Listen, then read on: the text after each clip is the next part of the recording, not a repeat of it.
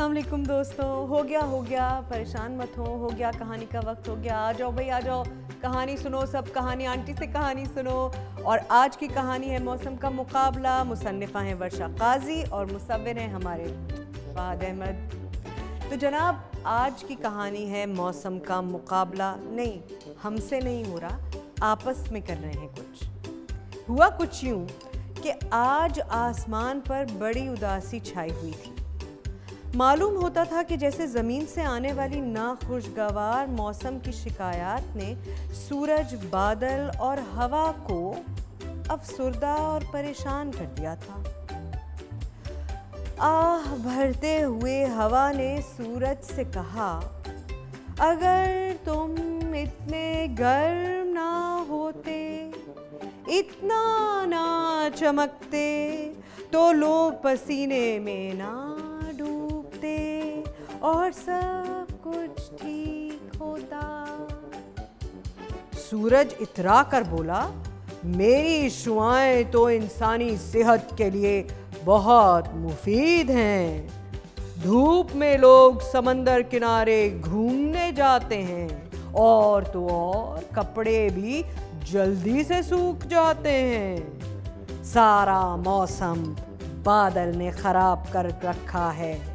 काली घटा बनकर छा जाता है और बारिश करके सब कुछ गीला कर देता है। बादल ने झिड़क कर कहा, क्या तुमने देखा नहीं? बारिश में बच्चे किस तरह खेलते हैं? लोग मेरा मज़ा लेने के लिए पकौड़े और मज़े मज़े के खाने खाते हैं। फिर तेज हवा का झोंका अपने साथ बादल ले जाता है और सारा मज़ा किरकिरा कर देता है।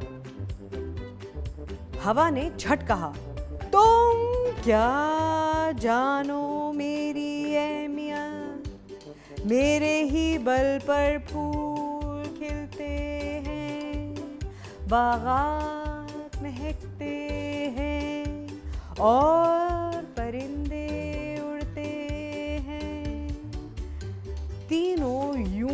आपस में लड़ने लगे। लड़ते लड़ते ये तय हुआ कि आज मुकाबला हो ही जाए कि कौन ज़्यादा अच्छा है। पहली बारी सूरज की आई।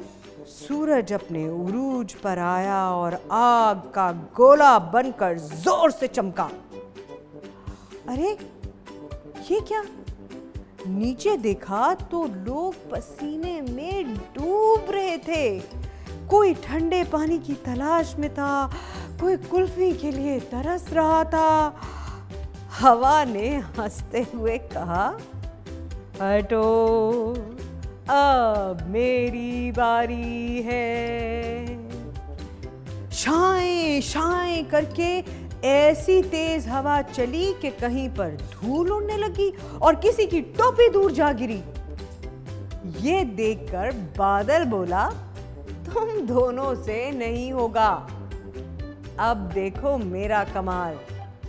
झट से काली घटा छाई, बिजली कड़की और टिप टिप बारिश बरसने लगी। लोग दौड़े, फिसले और घरों के अंदर भाग गए। ये मंजर देखकर सूरज, बादल और हवा तीनों उदास होकर खामोशी से बैठ गए। इतने में उन्हें ज़मीन से धीमी सी आवाज़ आई। कितना दिलकश समा होता, अगर हल्की सी धूप होती, सफ़ेद बादल छाए होते और धीरे से हवा चलती। ये सुनकर सूरज बादल और हवा को ख्याल आया कि वो तीनों मिलकर मौसम को खुशगवार बना सकते हैं। ये सोचकर तीनों ने फ़ौरन दोस्ती कर ली। मेरा भी यही ख्याल है। लड़ाई झगड़े से मौसम हमेशा खराब ही होता है। अगर आपको लगती हैं हमारी कहानियाँ अच्छी और आप सुनना चाहते हैं और नई नई मज़ेदार कहानियाँ तो फिर आपको करना पड़ेगा सब्सक्राइब का बटन क्लिक। कीजिए